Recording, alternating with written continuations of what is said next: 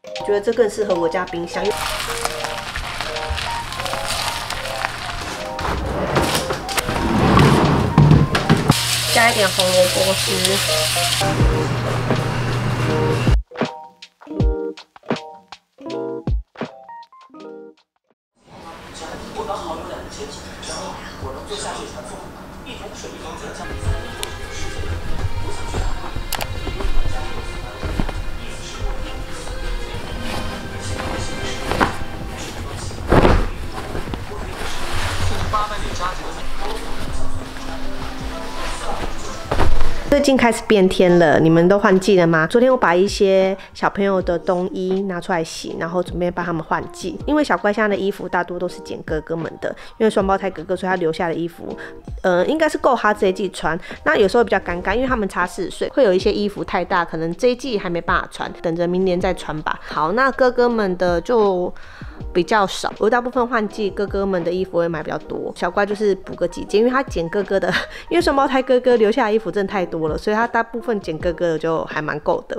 那人家男生就是常常膝盖这边破洞啊，生儿子妈妈一定懂，就是小男生膝盖的地方一定是破洞，那衣服就是袖子的地方一定是脏的，反正就是这样子。好，儿子的衣服准备起来算是蛮简单的。那因为今天小乖他学校运动会补假，所以他今天会在家里。那刚好今天也是我要去补做美甲的日子，所以今天呢，他就会跟我一起去做指甲，去帮哥哥买衣服。养儿子就是衣服这方面比较简单，小乖捡哥哥衣服，一个季节就是一个抽屉的衣服量，对小乖来讲就很够了，因为他再怎么穿都那几件，有时候我都要帮他，因为每次我洗好就是放上去，他再怎么拿都是拿上面那几件，所以好像永远都在穿那几件衣服，有捡几件。比较小，他现在已经穿不下的衣服，像这都还好好的，然后膝盖膝盖应该也没破洞吧。然后像这种的，就是会给社区妈妈，他们小朋友比较小就可以剪。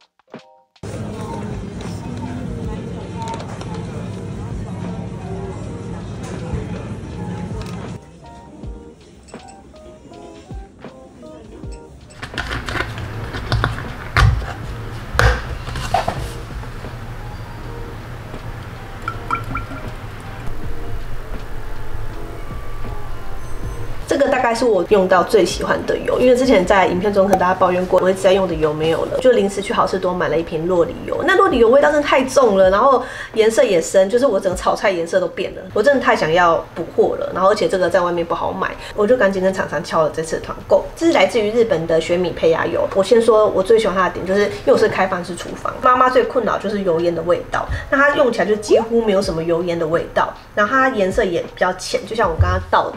在瓶子里面的，它不会影响到菜的颜色。它是取自糙米胚芽，就是最营养的部分，很适合用在烘焙啊，或者是做小朋友的副食品。既然你在家里煮，所以你的油啊、酱油可以用好一点的。我自己真心觉得很不错，很想推荐给大家。团，因为这之前开过团，但是我没有在影片中讲过。后来中间就是跳槽去别的油，就发现这这个真的太好用。那这次开团也有一些我常用的厨房用品，就是这些盆子啊、袋子之类的。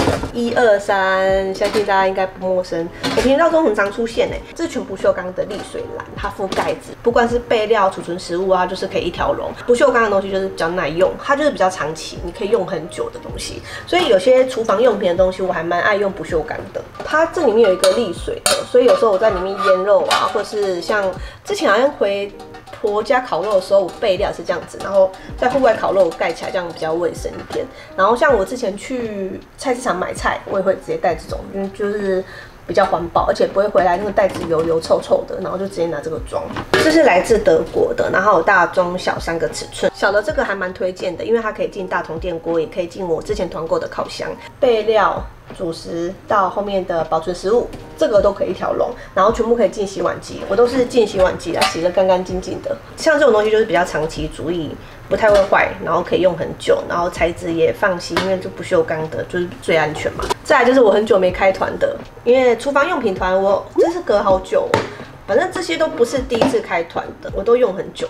提篮式的保鲜盒、沥水盒都好，它就是一物多用。像我常常拿它来洗菜，洗一些。比如说青椒啊，水果就小小的、圆圆的，然后不想用太多水的，就用这个。然后洗好的水果什么的，你也可以直接盖子盖起来，它有一个提篮，这个还蛮实用的耶。就是洗菜啊、保存食物啊、野餐啊什么的，你都用得到。就还有沥水，对哦，这个东西你买回去，你实用度真的还蛮高的。小朋友都有一些杯子啊什么的，就洗一洗，它可以倒扣当一个沥水篮，这个很实用，这个很推荐大家买。这是一号比较小。三千八百梦，然后还有大的二号，它就是比较高一点。这几个系列它都可以这样子买一大一小，它都可以这样子叠着收纳。然后还有一个备菜很方便的是这个，它里面本身有四个，像我之前放猪脚肉去冷冻，或是火锅吃火锅备菜的时候，这个也很方便。然后同样会有一个盖子。好，再来是保鲜袋。这个保鲜袋我通常把它拿来分装冷冻肉类，像我们去好事多或者是去大卖场采买比较多的肉类回来，我会拿这个方的分装成一份一份的，就是一餐一份便，然后它薄薄的，可以像书本一样立着冷冻食材。那为什么我喜欢用这个？第一，它比较省空间，然后可以重复使用，比较环保，然后就是操作方便，肉丢进去，然后拉链拉起来就拿去冷冻，就没有什么。太复杂的动作，但是你们买这个必须要考虑自己有没有心力去清洁这个东西，就是你还要去洗。那我个人的话是直接丢洗碗机，所以我清洁上面比较不会觉得困扰。如果你们要购入这个，我希望你们可以考虑清楚自己的使用习惯。对，还有一个细胶的特性呢，它比较容易留味道或染色。那一般装肉是还好，这个用超级久的。然后装肉是还好，但是如果你装一些泡菜呀、咖喱之类的，比较容易染色的食材，像我这个。就有一点蓝色哈，看得清楚吗？嗯，拿一个新的对比一下好了。像我这个白色就是有点微微蓝色，它有点变黄啊。这是全新的，就是会有这样子的小小变化啊。如果你很在意的话，你可以挑不同的颜色，因为它颜色有很多种，留味道、容易染色啊，这些你们都要考量进去，这是它材质会有的特性。其实 坦白讲，我不会整天去闻它。我不会整天去闻它啦，所以我觉得有味道这件事情我不会太困扰，因为它的材质是比较安全的白金级细胶，它可以整个进滚水去做消毒，然后一方面也可以去除一些味道啊。对味道比较敏感的人，你也可以用小苏打粉，都可以消除一些味道。那每次团购呢，我跟大家最推荐就是这个方的嘛，因为它就是我们小家庭里面装肉，也可以装吐司。然后我们还有这种比较立体的，那这种比较立体，我会建议它拿来装一些蔬果，比如说我们有时候都会切一半的。洋葱啊，或者是一些食材，你不知道怎么装，都要去找垃圾袋，你就可以拿这个来用。这些系列它都是密封的，它的密封程度都很好，它这样拉链拉起来，它密封程度都很好。后来常常寄这给我，我觉得这更适合我家冰箱，因为它比较低一点，大家可以比较一下。它比这个之前第一代的站站袋还要低一点，这个是新款，它的开口比较大，这个比较适合我家冰箱，因为它比较低嘛。我那抽屉式的冰箱比较适合，有些人会拿这个直接来微波蔬菜，然后它可以这样子稍微这样盖一下。那留一点点缝缝，它可以在里面微波，直接可以用在料理上面，比如说苏肥呀、微波啊等等的。那我来总结一下这个细胶保鲜袋。首先它是来自美国牌子，它是白金级的细胶，所以它的材质比较安全，它可以耐高温冷冻，所以你可以直接拿它来疏肥或者是腌制食材。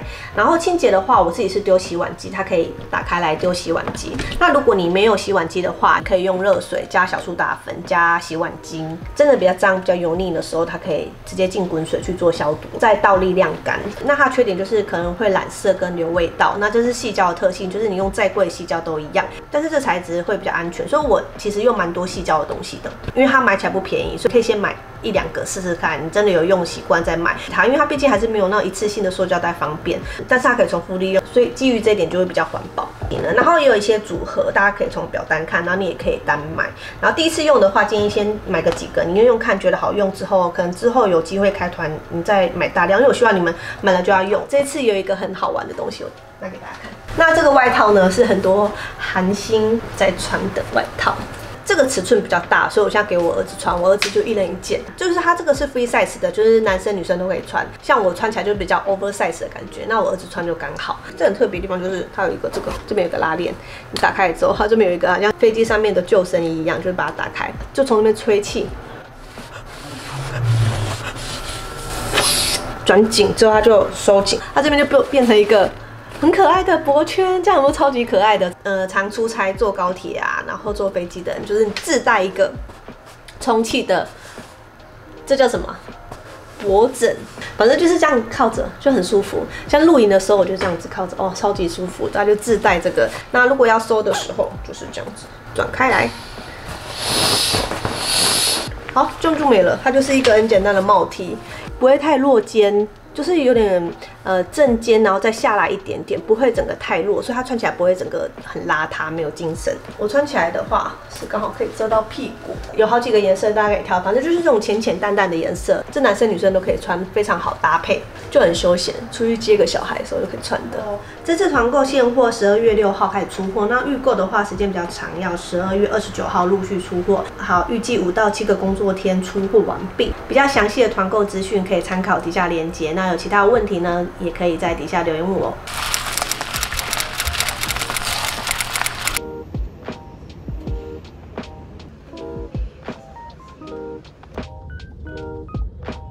包装的样子，然后这样子。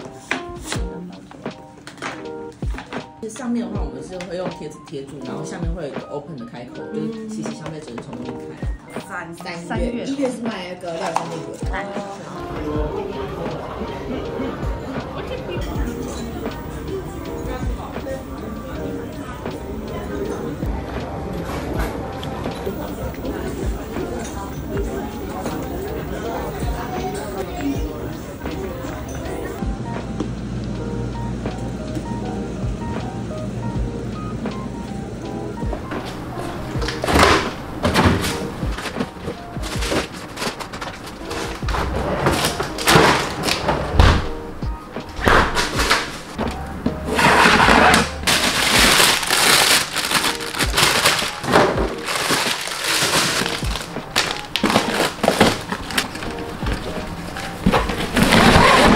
今天去开会，好，我想说回来要做一个快速的海鲜乌龙面，刚刚很临时去采买，对，这个可以当做高汤。我还是会加一点水，有时候来不及煮饭的话，煮面是还蛮快的。有些乌龙面是放冷冻库的，然后这种是冷藏的，所以就是要煮的时候直接丢进去，不用再另外烫过。啊，因为隔离是最后一个步骤，所以我们。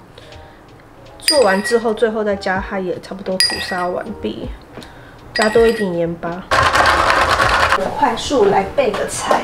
有时候我忙起来都是那一个礼拜特别忙，有时候忙起来真的也没时间煮。我相信很多妈妈主要是没时间，还是会想要自己尽量的煮给小孩。像我们家小朋友多的话，分量会比较够一点。说我自己做菜是速度还蛮快的。我要是没拍影片的话，我这样随便弄一弄，可能半个小时就搞定了。青菜我们就用流动水稍微洗一下，像青菜都是可以事先把它洗好切好。如果你隔天就要煮的话，你可以在家里晚上先把它准备好。那我刚刚是因为才坐高铁回来，比较没有时间先弄。好，然后这边还有虾子，这是六折折扣品，所以今天一定要把它吃掉。开个背。然后把里面的肠泥取出来，像这样子。嗯，这只这只还算干净，没有肠泥。我家也有好事多买来的冷冻虾仁，也是很方便，丢几颗下去一样是可以加料的。但是我这次看到有特价品，我就想说买一下，然后反正我这餐就要煮了。虾子带虾头，有虾壳的，就是虾子干煎之后再加一点水，就变成一个现成的高汤。怎么会？考几分？超爆好，考几分？八十。然后嘞？八四。然后地理八二，数学八二。厉害啊！历史七二。没关系啊。历史八十。没东西可以吃吗？海鲜乌龙面。有东西可以吃吗？现在啊，香蕉。哎，我公民九有啊，英文七七八。所以你这次有机会进前百哦。两百而已，不可能一百，一百都要九十。阿明要考试哦。你好吃啊！刚考完试又要考。是啊，国语老师啊，说考试吃啊。是哦。你们一天可以玩。我有今天跟你们玩啊。没有任何一天可以玩。你看考试。加一点油，蒜头爆香。爆香的同时，开始切菜。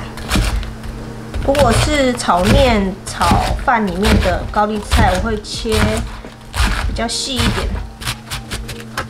这个会先下去炒，然后绿色的最后。虾子下来煎香，再多加一点油。这个乌龙面在全年买的，它里面一包有两小包。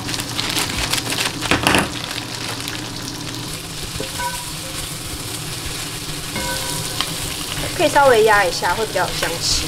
所以煎到半熟，我想先拿起来，接着香菇进来，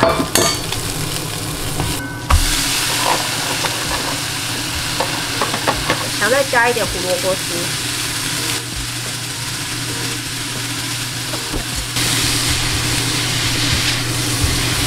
接着加入现成的高汤。然后如果高汤不够的话，我会直接补一些开水。家不是那一门心思攀高枝的人家，最重要的呀是对你。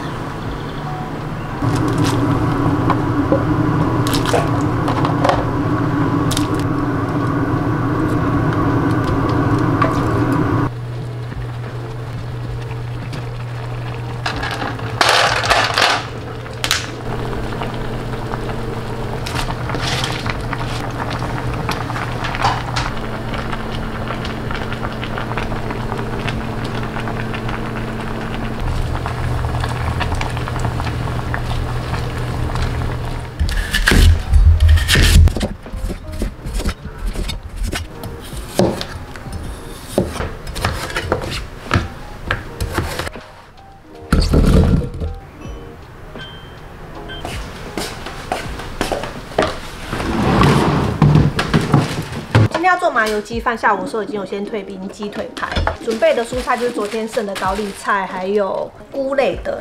这个有人建议我切好要的量之后去洗，然后之后再切我要的大小。香菇的话，我打算今天把它用掉。先来煮汤。我今天原本要去好事多，结果附近不知道怎样塞车。两点多塞车，平日两点多塞车是蛮少见的，还是今天是周五的关系进不去，后来就绕到大润发去，后来发现大润发有一区是卖日韩食品的，我就去逛了一下，蛮好逛的，然后买到这个这种汤包，这种汤包里面是干燥的提鱼，还有一些海盐、干香菇，一些就是一些你看得到的料，煮汤的话加两包。今天我要做麻油鸡炖饭，所以炒锅先收起来。我们的铸铁锅还要再改颜色，因为现在这个颜色你们从影片中可能看不出来，但是它有点偏紫。然后我现在又打了另外一个比较接近奶茶色的。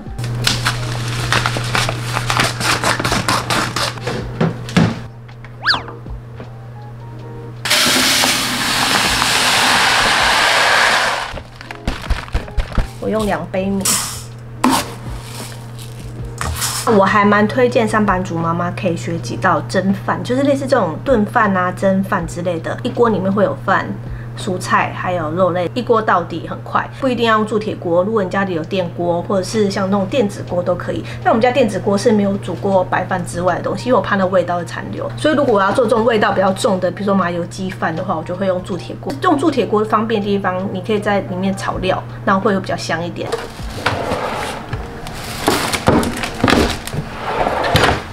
有竹笋，就可以做竹笋猪肉蒸饭，或是煮海鲜粥，然后皮蛋瘦肉粥等等的，其实都是可以在里面直接炒料，然后一锅完成的料理。我这个是无骨鸡腿排，这边有软骨哎，我把它剪掉好了。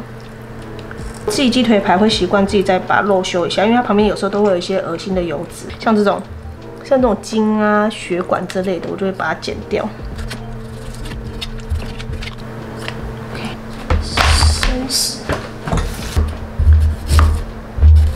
姜片可以切多一点，先用普通的油把姜片煸香。那如果你是用 IH 炉的话，我个人觉得铸铁锅啊、铁锅这类，它的感应都很快。之前切剩的红萝卜，小时候把它加汤里面去，切丝，应该是切条啦。所有的食材大小啊，然后形状最好是切一致的，会比较好看一点。OK，待会一起下去炒。回到备菜的问题，像肉类要煮的时候再切会比较好。青菜用这个洗，然后切好，用这个装，盖子盖上，放在冰箱里面。要煮的时候直接拿来用。我觉得前一天准备好是还好，因为它毕竟还是个保鲜盒，所以它放个三四天是没有问题的。然后但是就是尽快把它用掉，沥水的嘛，所以它水是被沥在下面的，就不会碰到水，因为碰到水就比较容易坏掉。然后所以这种沥水篮加保鲜盒的东西，我是还蛮推荐的。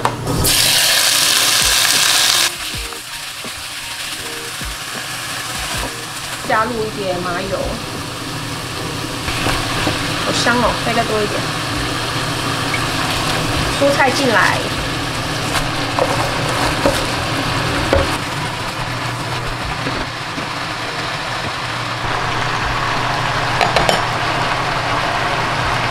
食材都会出水，饭的水你可以抓一比一，或者是再多一点。一杯米大概是一百八十 CC，然后两杯米的话三百六。焖饭类的，它吃起来口感就是有点介于炖饭，然后再干一点点，又要比平常的米饭还要再湿润一点。好，接着加入洗好的米，希望麻油香重一点，我再加一点麻油，稍微搅拌一下哦。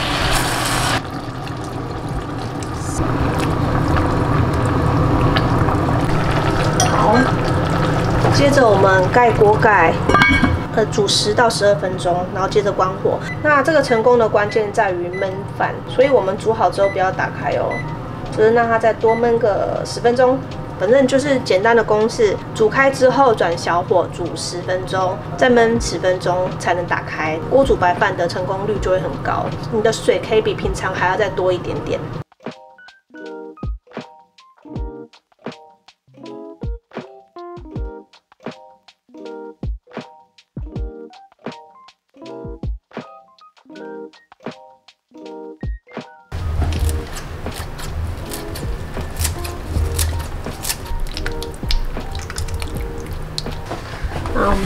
就焖好了，最后可以再加一点红枣跟枸杞。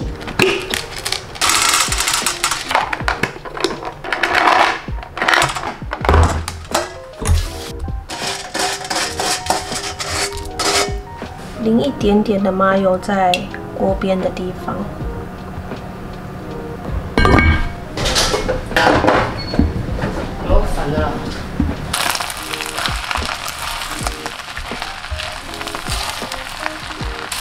喜欢吃一点锅巴的话，也可以多放一下，底下就会有锅巴。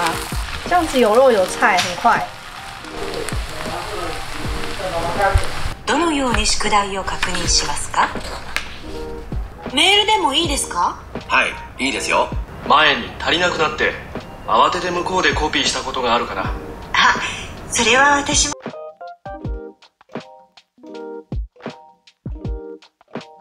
今天晚餐一样是一锅料理，要做豚汁。日式豚汁在我们家小朋友非常爱吃。那我退冰了两条鲑鱼，然后这边有一点猪肉片。OK，首先我先来切一点青菜，先把鲑鱼煎熟。豚汁的话就是会有一点猪肉，但是我今天会加豆腐，我觉得这样料好像有点太多了。那所以猪肉片的话，我大概加一半。我买的猪肉是在市场老板帮我切的，但是我觉得我买这个部位好像有点太硬了，小朋友都咬不太动，所以我想说把它剪小块一点。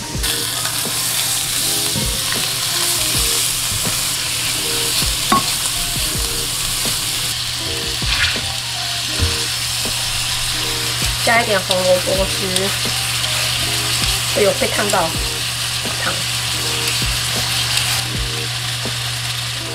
趁着在煎的同时啊，来做一些切菜啊，备料。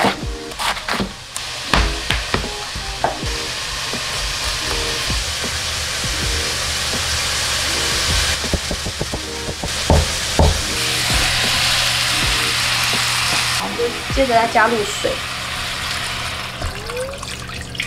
这锅很快，肉也不用事先腌过，菜随便切一切，豆腐切也很快。然后把食材通通都丢进去，再加豆腐，然后再加味增，最后再加一点干的海带芽，这样这一道就 OK 了。家小朋友通常都是一碗白饭，直接这样淋着吃。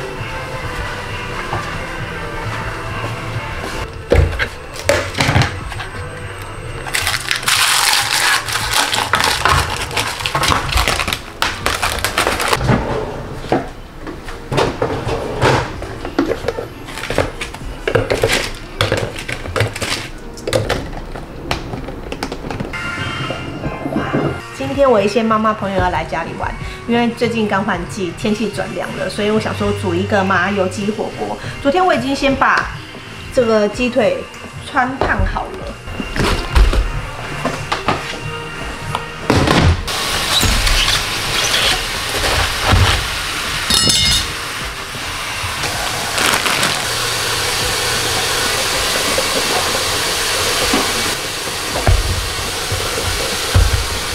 我昨天全年，然后刚刚又去传统市场，都买不到玉米，玉米笋倒是有，就买了一些玉米笋。因为我觉得麻油鸡火锅，我最喜欢加的就是玉米还有米线，那这两个我都买不到，我昨天跑了两处都买不到。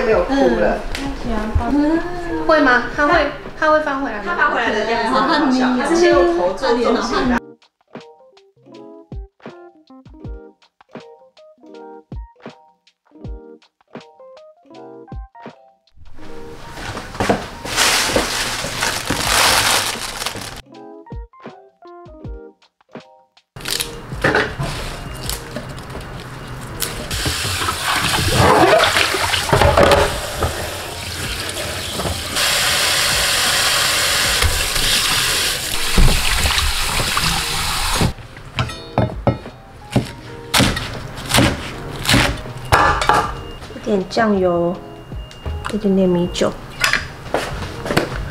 蚝油，沙茶酱。我腌肉的时候一起加进去，然后最后起锅的话可以再加一点点。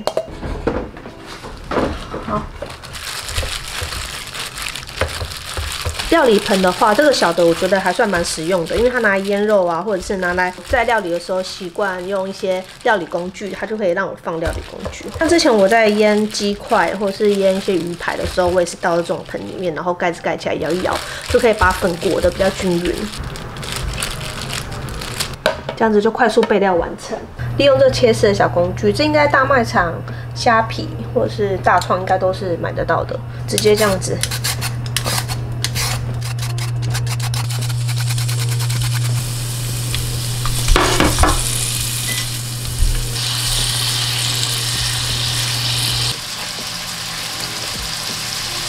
哦完蛋！我发现它变质了。我刚刚发现我买回来的油面它好像发霉，就是已经变质了，不能用了，所以我只好拿出这个 冬粉，然后冬粉也可以啦。然后有时候生活中就是会有这些惊喜，还好家里都有这个。还有一个快速泡开香菇啊冬粉的方式，你可以加一点水，然后进微波炉微波，快速泡开。这个材质是可以进微波炉的，所以就比较快。这样子就快速泡开了。原本是想说要做一个台式的炒面比较适合，再加一点点酱油，所以酱油的颜色不够。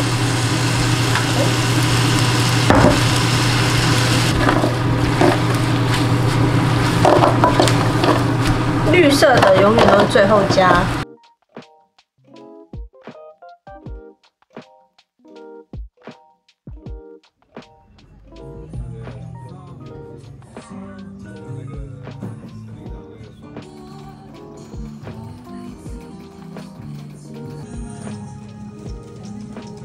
这家看起来是新开的，我要去点餐了。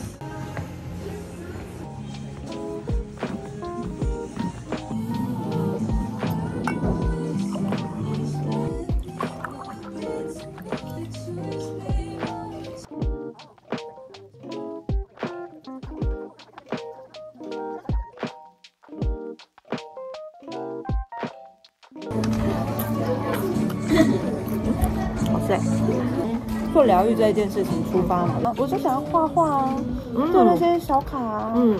写一些正能量的话啊，嗯。超喜欢创业市集的。嗯。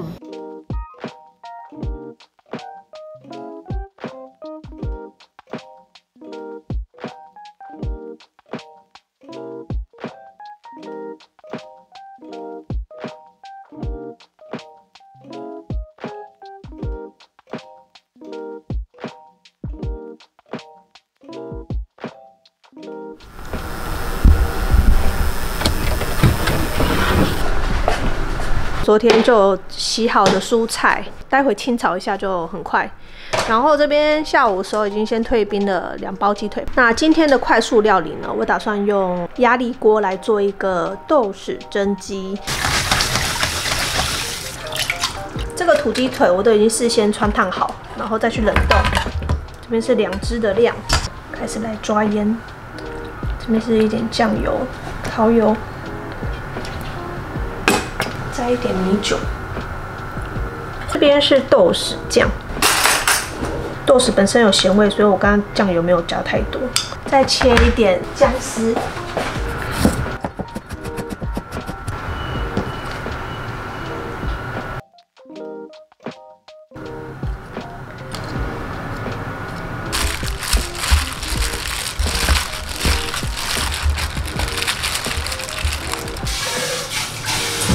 加入一点水。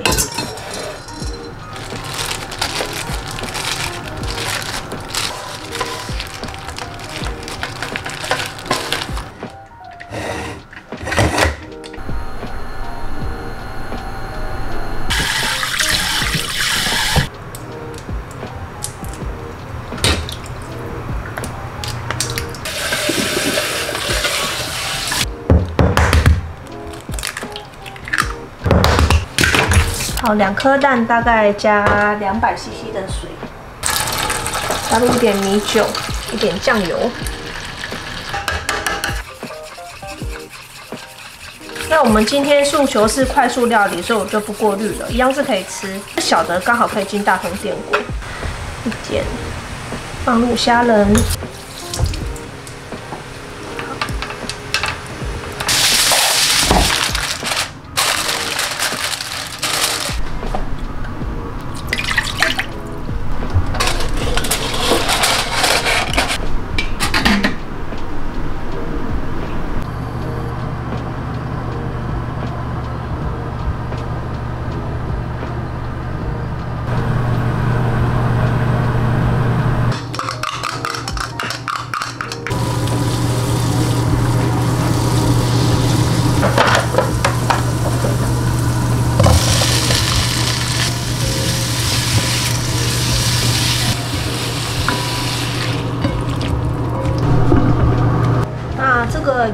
好了，我要手动排气。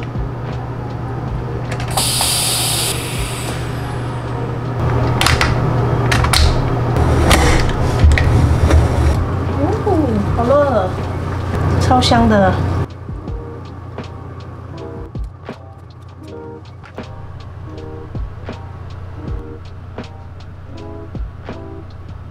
青菜也好喽。最后可以再淋一点香油。OK，这道就啊，这个我忘记切了，好好笑。蒸蛋因为不锈钢它导热比较快，所以会比一般的瓷盘还要来得快。所以如果要做蒸蛋或蒸的料理的话，用不锈钢盘是一个蛮好的选择。